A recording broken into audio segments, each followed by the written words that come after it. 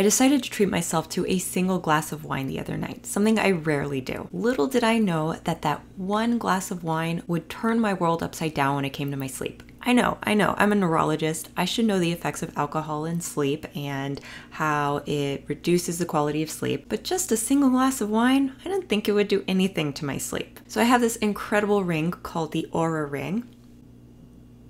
So, this is like a personal health tracker. It monitors my heart rate, heart rate variability, pulse oximetry, my temperature, my sleep, even my menstrual cycle. It is really impressive. So, going back to my story, this was the first time I had consumed alcohol since I got the Oura Ring. The morning after the night that I drank, I felt pretty awful. What really intrigued me was what the Oura Ring detected in my sleep. Let's take a look at the sleep graph from that eventful night and compare it to a typical night of sleep for me. The white bars represent the awake state. Deep sleep, indicated by the dark blue color, is a state in which your body heals and all the pathways responsible for clearing out toxins that accumulate during the day get to work. The amount of deep sleep that I had after the night of alcohol was normal, but the first half of the night was riddled with frequent awakenings, which isn't my usual sleep pattern. Moving on, the regular blue color represents light sleep, which was pretty consistent with my usual nights. But here comes the interesting part.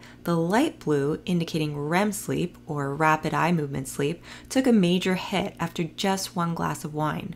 REM sleep is essential for emotional processing, dreaming, and boosting creativity, problem solving, and insight. Typically, I get about one to two hours of REM sleep per night. However, after that single glass of wine, it dropped to a mere 32 minutes. No wonder I felt terrible. This is consistent with what the data shows in the scientific literature about how alcohol decreases REM sleep, but I didn't realize just one alcoholic drink could do it too. Proof that alcohol, even if it's just one drink, and good sleep don't mix. Or maybe proof that I'm simply a lightweight.